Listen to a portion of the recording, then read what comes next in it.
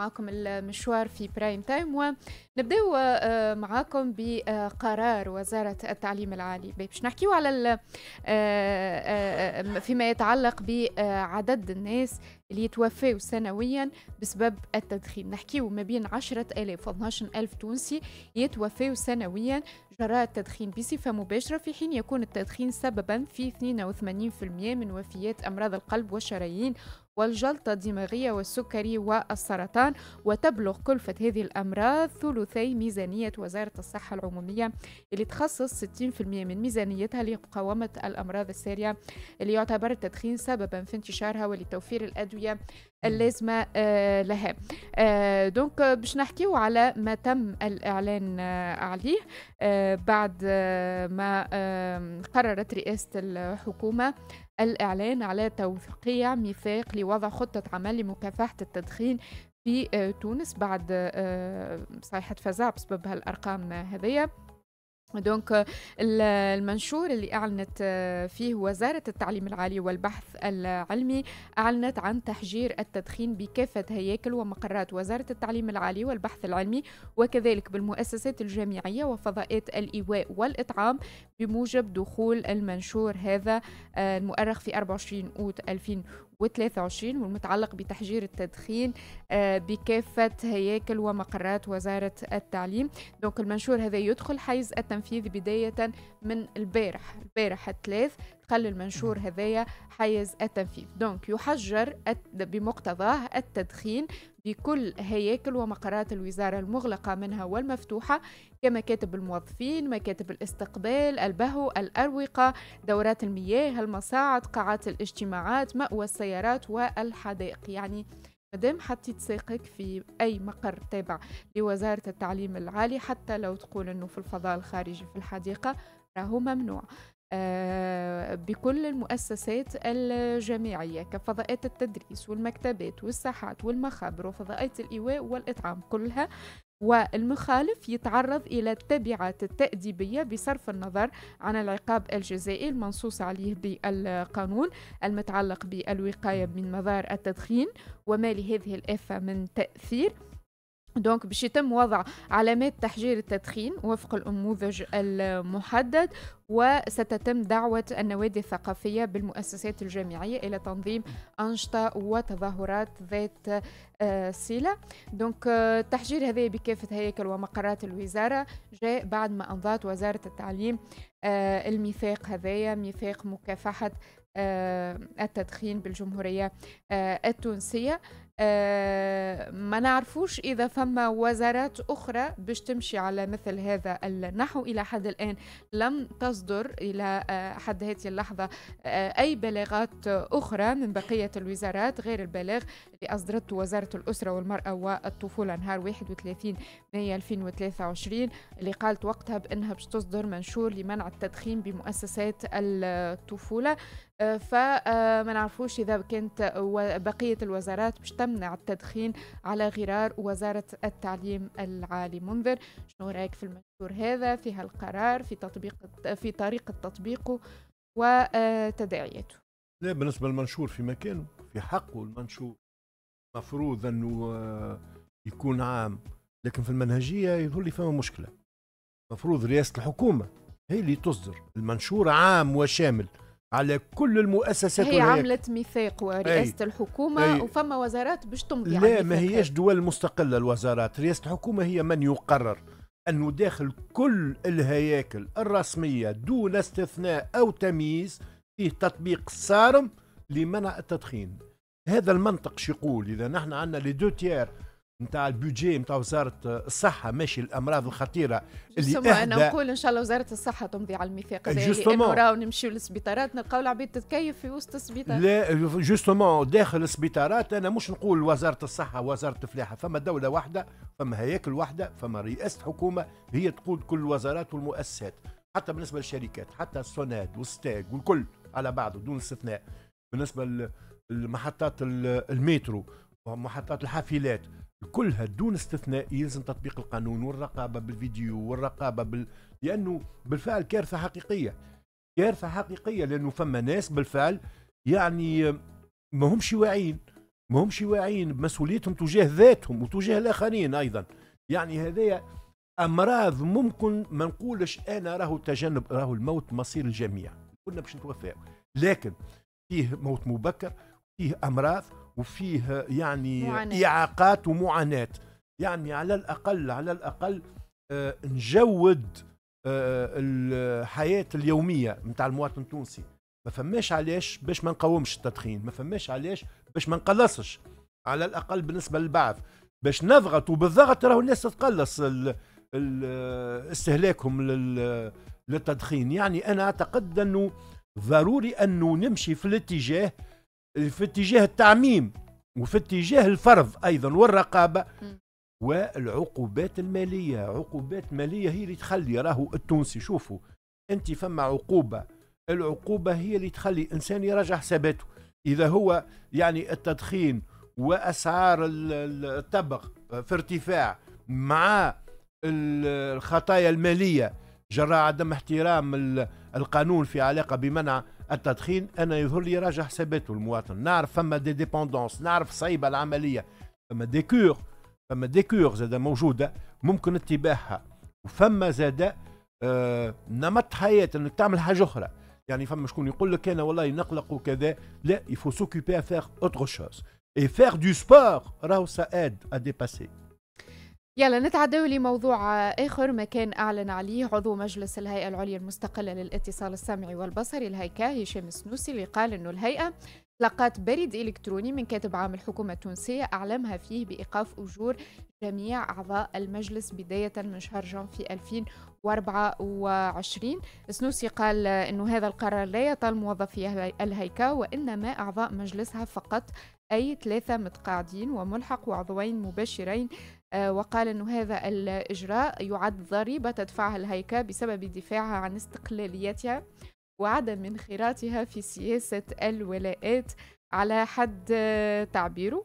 آه وقال أنه الإجراء هذا إجراء غير قانوني لأنه الهيكا مستقلة ولا دخل للحكومة فيها. آه شنو رأيك في كلامه هذا منذر؟ نعرفش أنا والله j'aurais bien مستقلة شكون يمولها؟ ال budget نتاعها منين يجي؟ يعني نحب نفهم أنا pour comprendre ما عنديش فكرة. منين ال budget نتاع الهيكا إذا ال budget نتاع الهيكا هو il fait partie du budget de l'État إذا financé donc l'autorité نتاعها شكون يمنحها؟ السلطة. في الدستور ما فماش هيكا الدستور الجديد نتاع الجمهوريه الثالثه y'a pas de هيكا وجود الهيكا أنا نقول لك ضروري. هم مش نقولها لك منتها يعني من الأخر قال الراجل تعمل سامحني لا هي المفروض المفروض توجد هيئه هيكا وإلا مجلس أعلى. كما ال audiovisuel في فرنسا. mais مفروض يتوجد. يتوجد كهيكل تعديلي وتوجيهي وتأطيري للإعلام. سيب فوضى إعلامية في البلاد مسألة خطيرة. هي déjà موجودة فوضى هي. فوضى إعلامية. يعني donc أنا في تصوري في اعتقادي il faut qu'il y ait loi organique peut-être ما نعرفش التخريجه القانونية mais ما نجموش نقعدوا هكا من غير آه، هيئة تعديلية آه، مرجع نظر آه، مش مرجع نظر فقط بالعصا راهو تمارس في يعني لازم نقول أنا le conseil supérieur de l'audiovisuel يهبط كان بالخطايا وبالضرب. لا لا يهبط زاد كذلك ينزل مشاريع نتاع تكوين التعاون الدولي هو يشرف عليه. يعني أما مش تخلي فراغ c'est dangereux ما نعرفش أنا وجهة نظر شنو هو تقييمك لأداء الهيكا منظر؟ أنا شخصيا كمتابع نقول الهيكا شفتها حاضرة خاصة في الخطايا. يعني أنا ما شفتش الحقيقة يمكن ما في باليش مي ما شفتش آه أنه آه, آه، لفت نظر أنه آه تأطير أنه فسح مجال للتكوين أنه تعاون آه يعني آه دولي في سياق تأهيل الإعلاميين. Non, ce n'est pas le syndicat. الهيكا ماهيش سنديكا mais الهيكا زاد ما يمكن أن يجلب الفرص والإمكانات للارتقاء بالمهنة. donc أنا je crois que bon بالنسبة للفترة اللي تعدات زاد في التجربة هي كانت تجربة أنا مع أنصار المنهج التجريبي جربنا ملأت فراغ زاد إلى حد كبير يعني bon ينسب لها مواقف يقولوا بخلفيات سياسية. ما نعرفش مانيش متأكد من هذا ما أنا في انطباعي موقفي الشخصي أنه يلزم توجد هيكل نتاع إشراف هيكل نتاع تعديل أنه العركة كما تعرف أنت في مرحلة معينة عركة مع بعض القنوات كما مع نسمة par exemple هذه المحطة اللي عشناها نحن في علاقة بالهيكة جدل كبير وقت اللي أنت عندك un vide نعطيك un exemple هذا. يبدا أنت عندك un vide juridique يعني وقت اللي جاء الفكرة نتاع النسمة نتاع تجميع القن الإذاعات الجهوية. ولات هي القاطره نتاعهم جاو قالوا لا وممنوع ما نعرفش. et c'était innovateur quelque part c'était innovateur quelque part donc أنا نعتبر أنها تجربة محطة. يلزم نبني على التقييم. يلزم نقيم بطريقة موضوعية. suis pas tellement pour انك الحرب المواقع والحرب الأشخاص. تعنينيش أنا الأشخاص تعنينيش المواقع. فما تجربة يلزم نقيمها. باش نعرف فين اتجاه نمشي. موش طبيعي أنه نبقاو من غير هيئة تعديلية. موش طبيعي أنه نبقاو من غير هيئة عندها سلطة الإشراف باش تنبه. أنا أنا j'aurais bien aimé ما نلقاش العقوبات المالية لأنه شفنا هو الإعلام دخل طور الإفلاس توا. يعني في كل عقوبة في كل ملاحظة 60 مليون 90 200 c'est trop قامت السلطات التركية بإيقاف 33 شخص يشتبه في تجسسهم لصالح جهاز مخابرات الكيان السوري.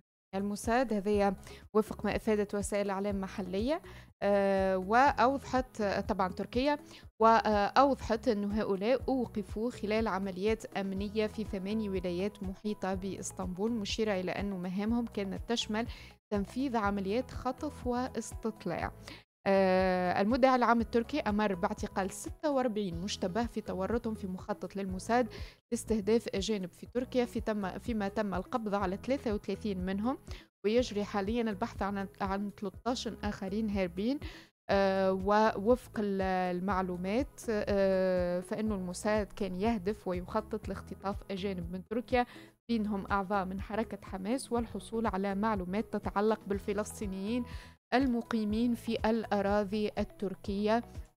جهاز الموساد اللي قال آه، تونس واغتال الشهيد محمد الزويري.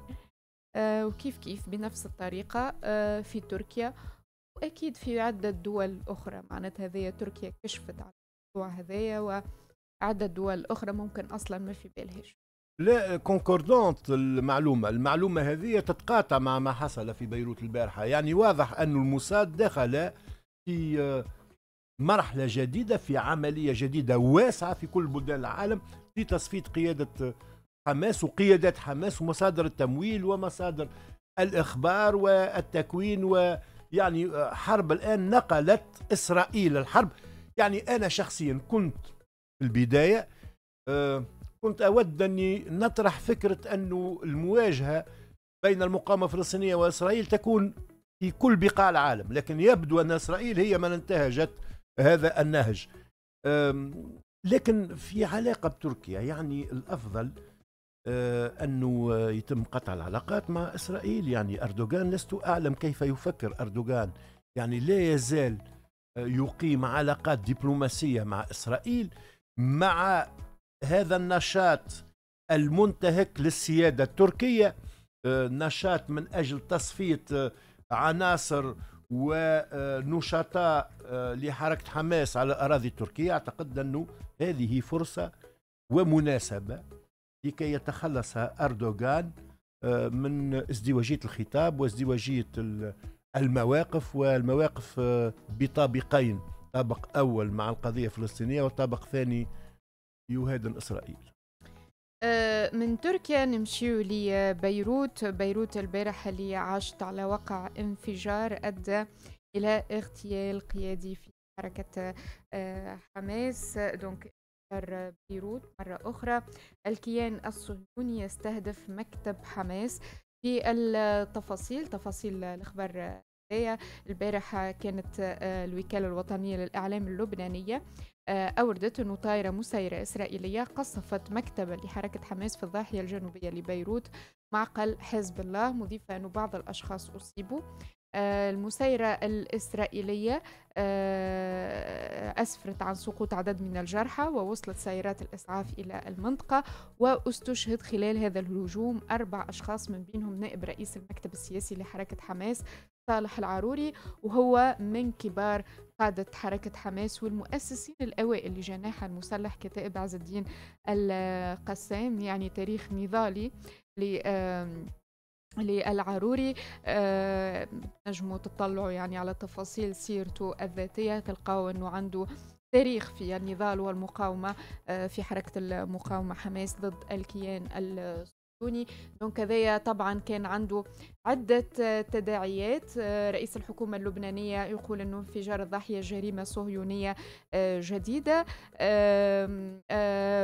تعليقات ومحللين يقولوا أنه نتنياهو مهزوم في غزة ويحاول جر الكيان إلى حرب إقليمية لدرء الخسارة متاعه. آه، إيران تكلمت بدورها قالت أنه اغتيال العروري انتهاك لبنان. حزب الله يعلن استهداف جنود إسرائيليين شرقي لبنان ردا على هذا الاستهداف.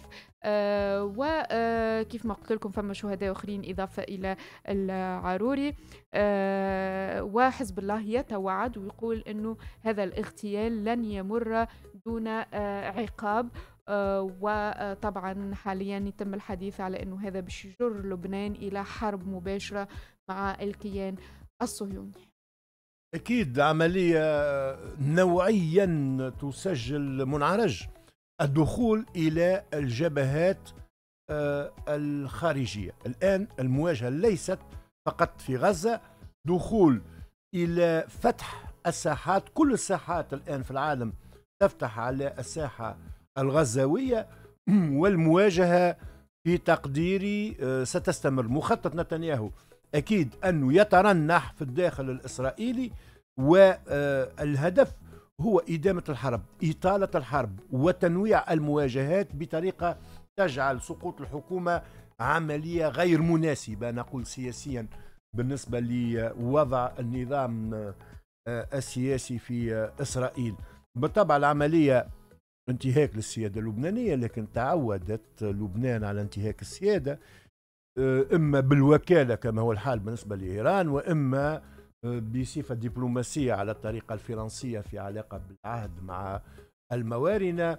لكن آه، بكل تأكيد أن هذا سيدفع في المنطقة نحو مزيد التوتر على الرغم من سياسات ضبط النفس التي تمارسها إيران ويمارسها حزب الله أيضا في الداخل اللبناني. عمليات محدودة. وبكل تأكيد أن آه، الحضور العسكري الأمريكي آه، من شأنه أن يقنع آه، كل الأطراف بأن تبقى العملية محدودة لكن الحرب مع غزة والحرب مع حماس ستكون حرب مفتوحة على مختلف الجبهات. المنطقة العربية على صفيح ساخن ليس فقط الشرق الأوسط نشاط الموساد سيكون متصاعد وسيسعى نتنياهو إلى تسجيل نقاط على هذه الشاكلة وبالتالي الانتباه الانتباه الحراك الإرهابي على الشاكلة المخابراتية أو آه، التنظيمات الكلاسيكية للإرهاب الإسلاموي بكل تأكيد سيتحرك هذه الأيام. أعتقد أنه فيه دفع نحو تفجير الأوضاع ولو بطريقة جزئية لا يمكن لنتنياهو أن ينسحب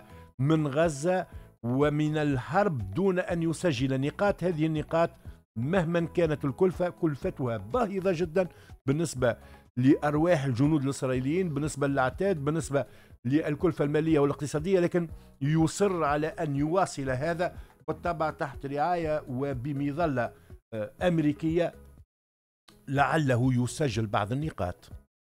واضح شكرا لي كانت هذه لو جورنال.